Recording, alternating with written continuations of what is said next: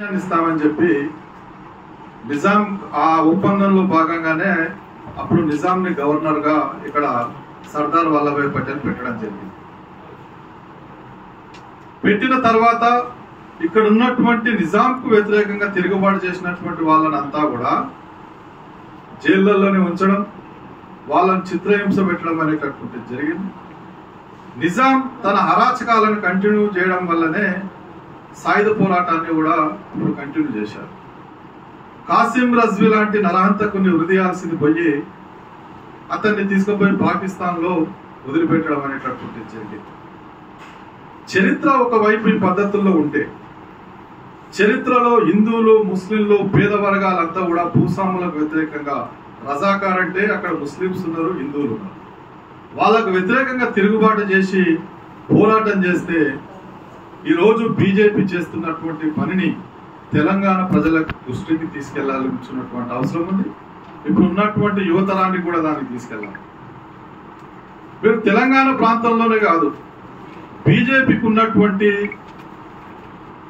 ఏదైనా కానీ ఏ చరిత్రనైనా కూడా వాళ్ళకు అనుకూలంగా హిందూ ముస్లింగా బ్రహ్మాండంగా చిత్రీకరించి అబద్ధాన్ని ప్రజల్లోకి తీసుకెళ్ళేటటువంటి సత్తా బీజేపీకి ఉంది. ఒక శివాజీ రాజు మహారాష్ట్రలో ఉండి యుద్ధం శివాజీని మొత్తం ఓ హిందూ మతోన్మాదిలాగా హిందువుల విముక్తి కోసం పోరాటం చేసిండని చెప్పి దేశవ్యాప్తంగా చిత్రీకరించారు.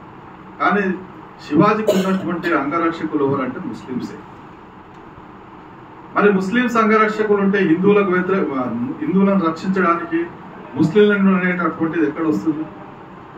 దానిపైన శివాజీ మతోన్మాది కాదు సెక్యులర్ అనేటటువంటిది గోవింద్ పన్సారి బుక్ రాస్తే ఈ చరిత్ర ప్రజల్లోకి పోతే మాకు రాజకీయంగా ఇబ్బంది అవుతుందని ఆ గోవింద్ పన్సారిని మతోన్మాదం చంపడం అనేటటువంటి జరిగింది.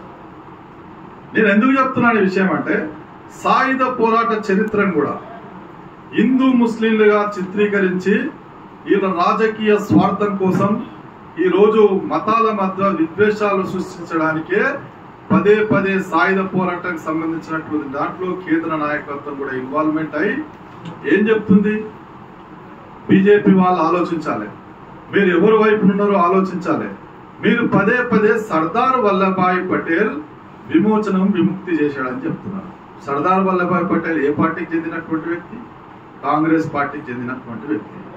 ఒక వ్యక్తి నుండి సరెండర్ అయి విముక్తి విమోచన జరిగిందంటే ఆ వ్యక్తిని జైల్లో నన్న పెట్టాలి లేకుంటే ఉరిశిక్ష చేయాలని కానీ సర్దార్ వల్లభాయ్ పటేల్ ఏం చేశాడు?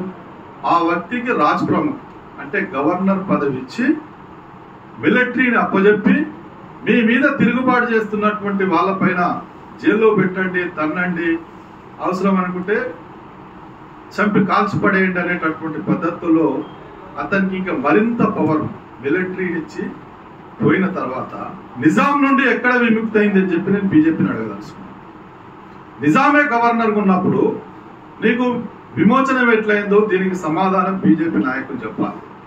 చరిత్రని వక్రీకరించే ప్రయత్నం చేయకండి.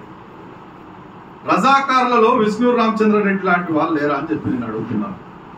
నిజాంకు వ్యతిరేకంగా పోరాటం చేసినటువంటి వాళ్ళలో మక్తు మొయిద్దీన్ షేక్ బందగి సోయబుల్లా ఖాన్ లాంటి వాళ్ళు తిరుగుబాటు చేయలేదని చెప్పి నేను అడుగుతున్నాను అటువైపున భూస్వాములు అందులో ముస్లింస్ ఉండొచ్చు హిందువులు ఉండొచ్చు దేశ్ముఖులు ఉన్నారు రెడ్డిస్ ఉన్నారు అందరు ఉన్నారు.